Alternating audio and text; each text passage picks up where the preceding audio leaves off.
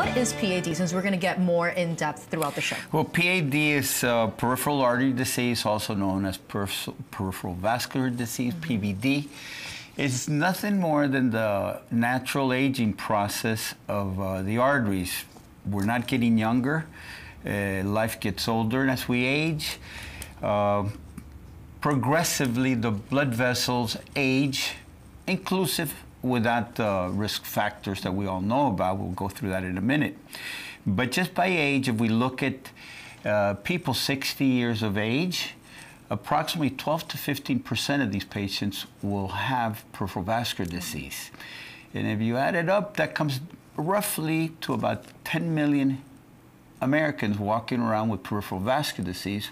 But remarkably, it's only about 30 percent that are not diagnosed that are really diagnosed. Right. The rest of the people at large.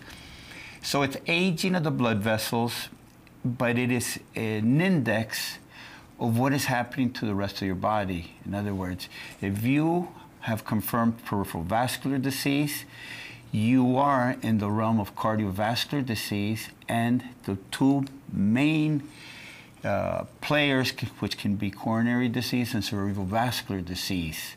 So a patient that is at risk for these events specifically, uh, there's about somebody with confirmed peripheral vascular disease or PAD has about a three to six fold increased risk in cardiovascular mortality.